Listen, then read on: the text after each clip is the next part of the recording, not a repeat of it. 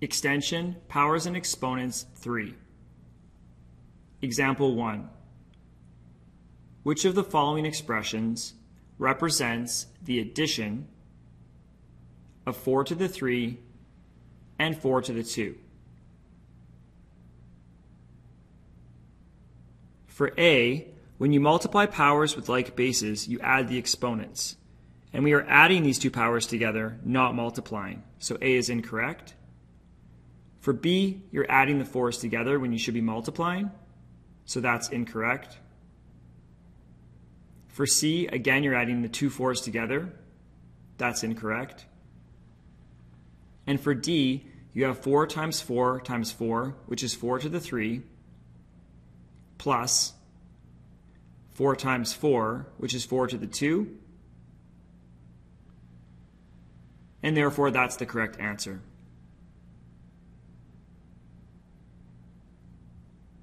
Example 2.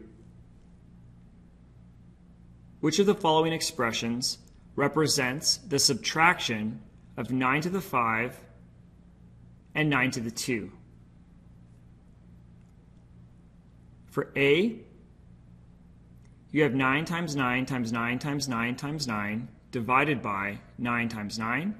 And that's division, not subtraction, so that's incorrect. For C, you're subtracting the 9s, which is incorrect.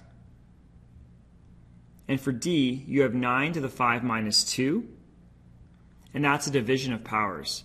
To divide powers with the same base, you subtract the exponents, and we're supposed to subtract the powers, not divide. So that's incorrect. And for B, you have 9 times 9 times 9 times 9 times 9 minus 9 times 9 and therefore that's the correct answer. Example 3. Which of the following expressions represents the addition of 5 and 5 to the 6?